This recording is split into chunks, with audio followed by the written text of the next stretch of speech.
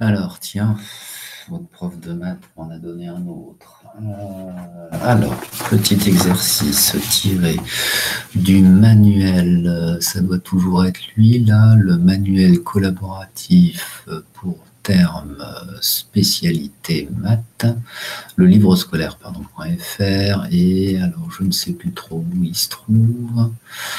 Mais, euh, mais en fait, j'en ai fait une copie d'écran, donc euh, je vous l'ai mis ici, et puis je me la suis gardé sous le coude là.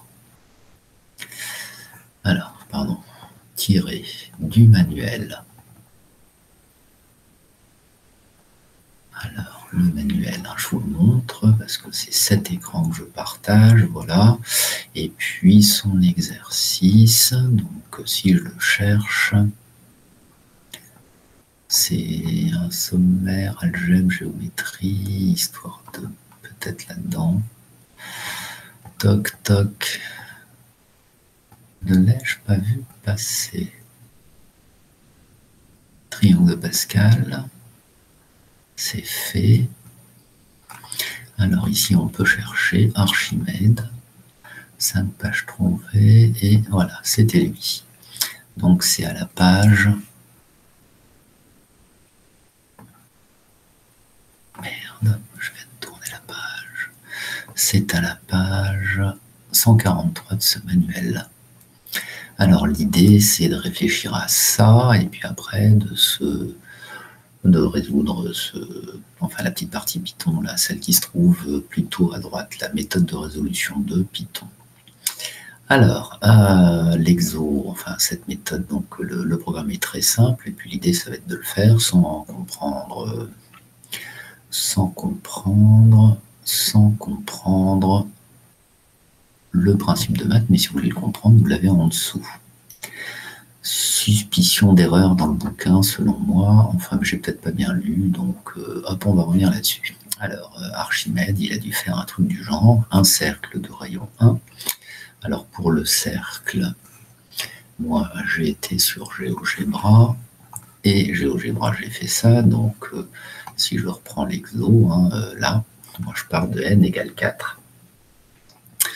Ah, et puis vous avez après les constructions pour n égale 5 et n égale 6. Vous constatez que plus le n augmente, plus la figure géométrique bleue inscrite dans le cercle se rapproche de la figure géométrique, on va dire marron, à l'extérieur du cercle, donc euh, qui circonscrit le cercle.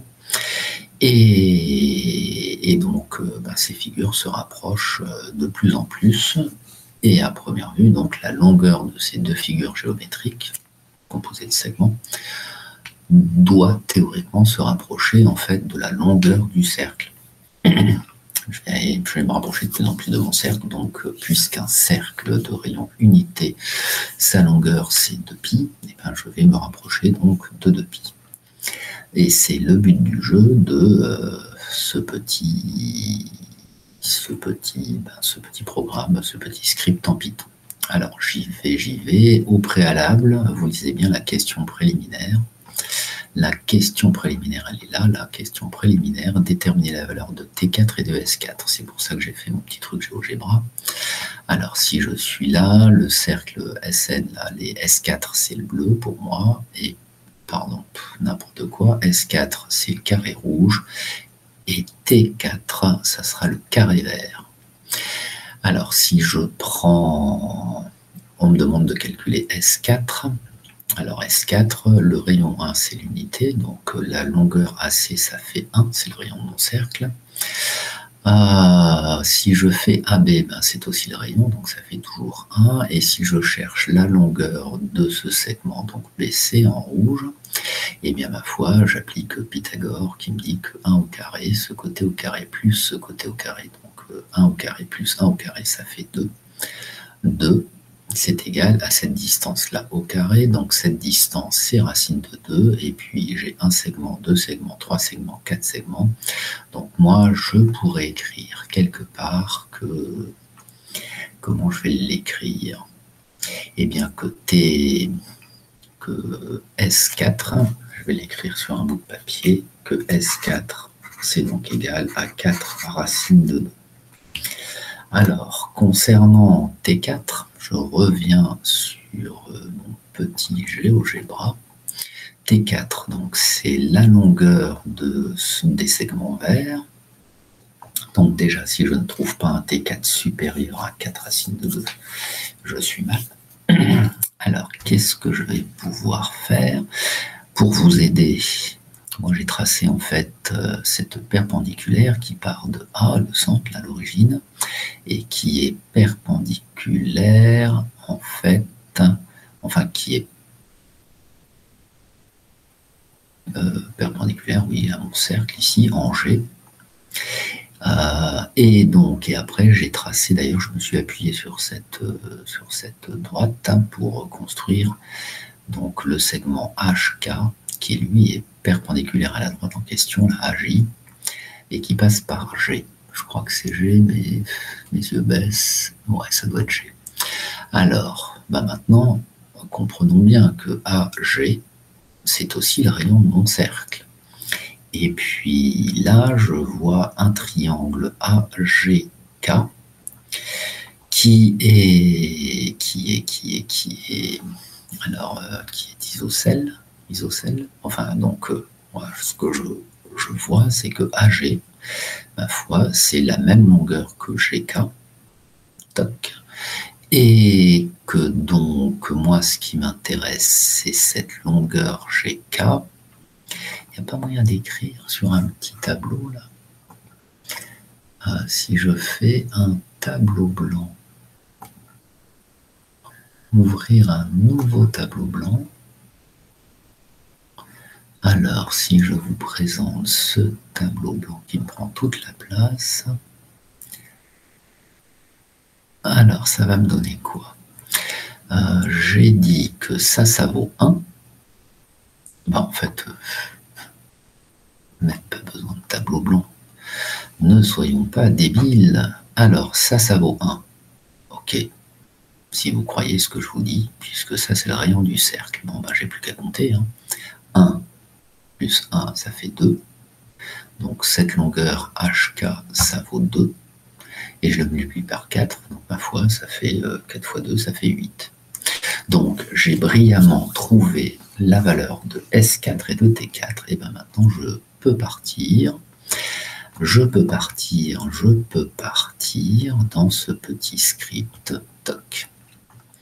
Alors ce petit script, pour éviter le zoom là qui m'énerve, voilà, j'ai fait une copie d'écran, on parle là-dessus. Alors, from port, moi en fait, le, donc from port, on l'a pas encore vu, mais c'est OK. Je vais importer ah, des fonctions de la bibliothèque math. Et moi, en fait, la seule fonction qui va m'intéresser, c'est SQR. Donc, je vais vous montrer. Tiens, je vais faire stop. Alors, si je fais from math import donc j'importe tout. Si je lance ce truc dans mes variables, j'ai toutes les fonctions euh, qui sont euh, définies dans cette bibliothèque math. Et ce qui fait que ben, il y en a beaucoup, donc je ne verrai pas mes variables, celles que je vais créer. Donc moi je vais être plus économique. Je ne veux que la fonction racine carrée qui s'appelle SQRT. SQRT. Et là, si je relance ce petit programme, voilà, je n'ai que cette fonction qui est ma bibliothèque math. Alors si je me suis pas trompé, euh, si je me suis trompé, bah, évidemment il y a peu de chances que ça marche. Alors on me dit, on me dit, on me dit, c'est un peu violent ce que je viens de faire, on me dit toc off. On me dit, donc from mat import étoile, moi je l'ai remplacé par from mat import sqrt. Alors la fonction, pareil, je ne vais pas la faire la fonction. Euh, je vais préférer la faire par la suite. On me dit, alors, compléter les lignes 4 et 5 en mettant les valeurs de T4 et S4. Je les ai calculées. Alors, T, je ne mets pas l'indice, puisque j'ai compris euh, dans ma petite boucle les lignes 6, 7, 8, enfin 7 et 8. Il va écraser les valeurs successives de T et de S et c'est ce que je cherche. Donc euh, je mets pas d'indice. T, on a dit que T c'était le circonscrit, c'était 4 fois 2, ça faisait 8. Brillamment démontré. S, on a dit que S, c'était 1 au carré plus 1 au carré, le tout racine carré, ça me fait un côté, racine de 2, il m'en faut 4. Donc S est égal à 4 fois racine de 2, et c'est là que j'utilise mon SQRT de 2. Ça, c'est bon. On me dit de faire une petite boucle. Euh, donc, je vais faire ma petite boucle. Je une ligne for euh, gamme pour pouvoir ça, for image. Alors, je vais tester au début. Je vais. Donc, je pars de T4. Euh, je vais faire 5. Alors, après, on me demande de calculer T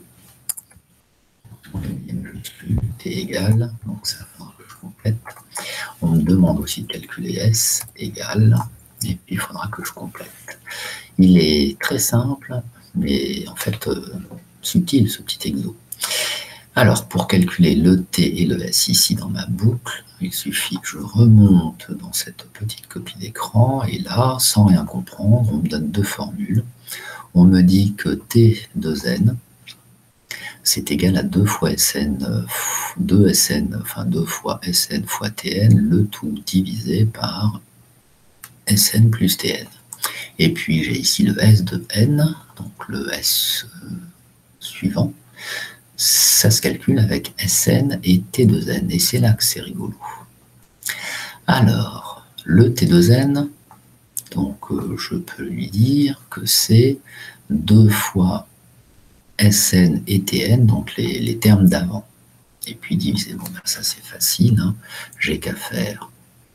Alors, je n'ai pas besoin de mettre de parenthèse, hein. c'est un produit au numérateur. Donc 2 fois S fois T.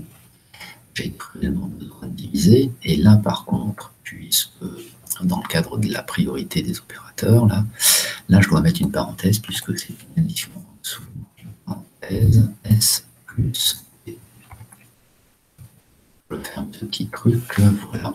Donc là, j'ai adapté à Python cette relation-là. Et puis maintenant, je veux calculer S. Donc celui-là, en utilisant cette relation-là. Et donc, je dois mettre SQRT, puisque c'est une racine carrée qu'on me demande de faire. SQRT, je dois mettre une petite parenthèse. Et là, regardez bien, on me demande d'aller chercher SN donc la valeur de S avant. Donc la valeur de S avant, d'entrer dans ma boucle, il va prendre celle-là. Et puis après, il prendra les valeurs de S euh, qui seront calculées et qui écraseront cette variable, euh, enfin cette, valeur dans ma variable S au fur et à mesure. Donc ça, ça va marcher. Et puis là, ça c'est une imprimante. Prions pour qu'il n'y ait pas beaucoup de feuilles. Donc, ce que je voulais vous dire, en voilà une.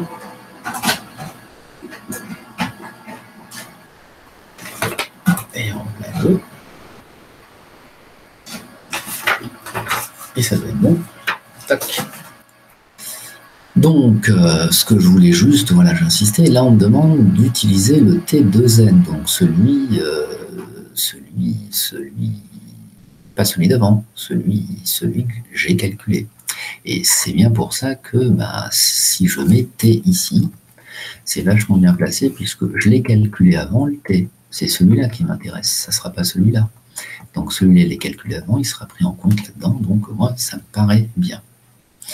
Euh, qu'est-ce qu'il y avait d'autre à faire? Après, on me demande d'écrire print T, machin truc. Alors vous remarquerez que le print, il n'est pas dans la boucle, Ok, donc quand je sortirai de cette boucle, il va me donner deux encadrements qui correspondent. Alors, vont-ils correspondre au même niveau?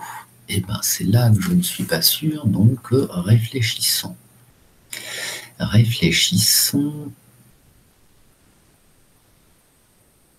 Réfléchissons. Donc là, je vais peut-être avoir besoin de mon petit tableau blanc. Euh, ben, je vais le lancer. Je ne vais pas mettre 5 là, tiens. Je vais mettre 3. Alors c'est parti, debug.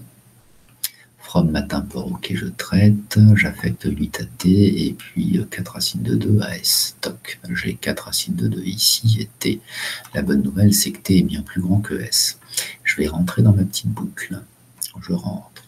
Donc euh, hop, ça commencera par 0. K vaut 0. Alors, cette boucle va tourner trois fois. Euh, vous remarquerez, ce qui est important, c'est quand je quitterai ma boucle, donc à l'entrée de ma boucle, hein, donc juste avant de traiter, juste en quittant la ligne 6, on va le dire comme ça, T ça vaut 8 et S ça vaut 5. Ça, ce sont deux couples de valeurs qui correspondent à T égale 4. À N égale 4, celui-là. D'accord? Alors après, je fais ce calcul-là. Pof. Donc il va me prendre la valeur de S, toc, il va me prendre la valeur de T, toc, il me fait le produit, il me fait la S plus le machin. Donc ça, ça va être la nouvelle valeur de T. Donc ça, c'est la nouvelle valeur de T. Et après, il va calculer la nouvelle valeur de t et l'ancienne valeur de s pour recalculer s, la racine carrée, et ça, c'est la nouvelle valeur de s. Je me rends compte que 6, 12, 6, 62, c'est un encadrement plus précis que 5 et quelques et 8. Donc ça, c'est bon. Donc si j'arrête ma boucle, moi, je me suis rendu compte que si je suis au début ou si je suis à la fin, en fait, les couples T et S sont cohérents entre eux. Par exemple, si je fais un print en petit, on va dire S, T, hop, si je fais ça,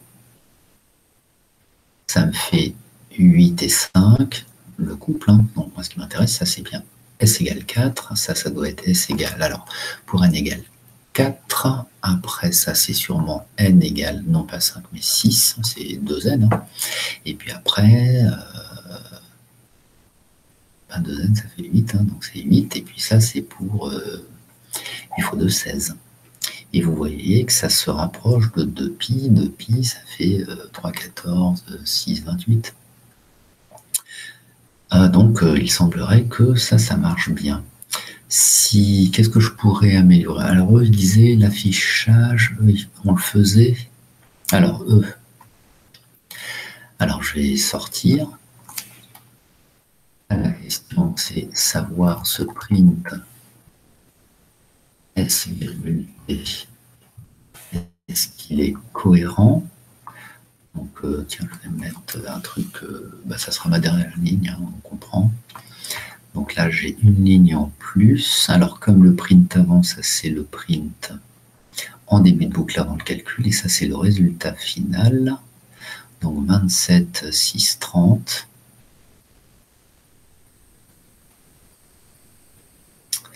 Comment Oui, oui, donc ça doit être bon. Non, non, c'est bon. 6, 27, 6, 30. Je n'ai pas les mêmes valeurs avant, donc ok. Donc ça, ça marche. Je peux respecter le script qui m'est proposé dans cet exercice. Alors, je vais faire comme eux. Hein. S. Pardon. Je vais mettre S. Je ferme. Égal. Je ferme. Virgule. Et puis là, je vais mettre. Euh, égale et la petite virgule qui va bien. Et si je le relance, maintenant je n'aurai qu'une seule ligne d'affiché, j'ai S et j'ai T, un encadrement pour, euh, pour n égale euh, pour n égale euh, ben donc 2 fois 2 4 fois 2 je commence à 4 fois de 8, fois de 16, fois de 32, je pense. Bien. Alors ça c'est fait. Est-ce que j'ai répondu à tout? Ah non, alors donc eux ils mettent ça dans une fonction. Bon ben, c'est simple. Alors la fonction, eh ben je vais la mettre ici. Def et l'archimède. Pourquoi pas? C'est un paramètre. C'est n de points. Donc si je fais ça, tout ça là, je devrais, euh, je vais devoir pas, je vais devoir décaler. Hein. Donc euh, voilà, ça c'est pour m'appuyer. Alors une tabulation, deux tabulations, tabulation, tabulation, tabulation et tabulation. Et là je dois. Donc si je lance ce programme, j'ai ma petite fonction qui apparaît ici, Archimède. Alors c'est le problème, hein, j'insiste, hein, c'est le problème des fonctions. Là, quand vous lancez le programme, en fait, vous ne pouvez pas vous appuyer sur, euh, sur les variables. Et là, si je tape, euh, vous m'excuserez, donc évidemment, vous aviez compris qu'il fallait remplacer ici mon 3 par n. Et l'idée, ça va être d'obtenir le même résultat donc je relance ma petite fonction, et là si je fais Archimède de 3, je vois pas pourquoi je n'obtiendrai pas les mêmes valeurs. Donc je vois bien qu'effectivement, ça se rapproche de plus en plus. Ces deux suites, enfin ces deux oui, suites TS, convergent vers euh, une valeur. Alors si par exemple, 30, un moment 6, 28, 31, 85, 30, 17, 80. Ben, donc là, euh, à première vue, ces deux valeurs semblent être égales.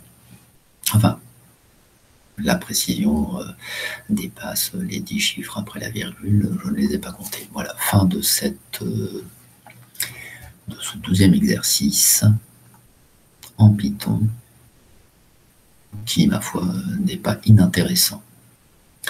Alors j'arrête la vidéo.